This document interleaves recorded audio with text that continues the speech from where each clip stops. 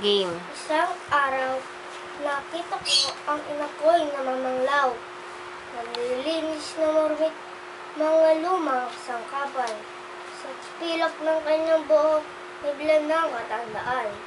Nakita ko ang maraming taon niyang kahirapan. Sa guhit ng kanyang pisngi, lumalalim araw-araw. Nakita ko ang ina ko'y tila man din na malulaw. At ang sabi, itong piano, sa'yo ko'y bibigay. Ang kubyertos nating pilak, kwentang maiwan. Mga silya at apardor, kay tikong ibigay. Sa ganyang kong nahati, itong ating munting yaman. Pinilit ko pasayahin, ang lungkot, lungkot ng kanya mukha. Tinangka kong batawa upang siya'y matawa. Subalit, sa aking mamatay, may namamaumalon. Hindi ko mapigil na hindi ko nasansala. Nais ko, ang ina ko, ang ina ko ang kaawa-awa. Sila na kami, iwan na niya rin ng muling nasa.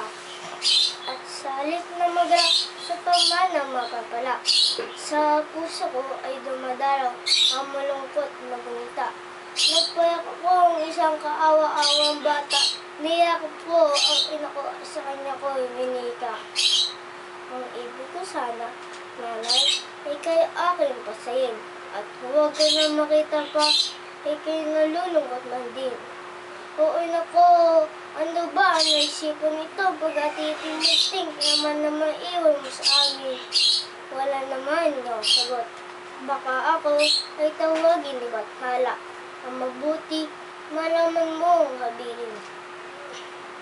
Itong piano, yaw sili alamin, pamano sa inyo, mga bunsong gilugiliw. Ngunit na, ang sagot ko, ang lahat na kasangkapan, ang lahat na yaman dito, hindi ko kailangan.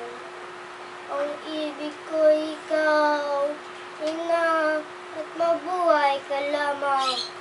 Hiling ko sa Diyos, ang pamana ko ikaw.